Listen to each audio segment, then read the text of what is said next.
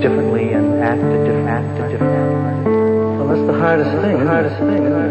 There is an intercultural cultural, cultural. Sounds defract, defract, defract. The same way here as they do in India, India. Stylistic boundaries. Hmm. But there are no boundaries in the fact that sounds defract or echoes and or echoes. I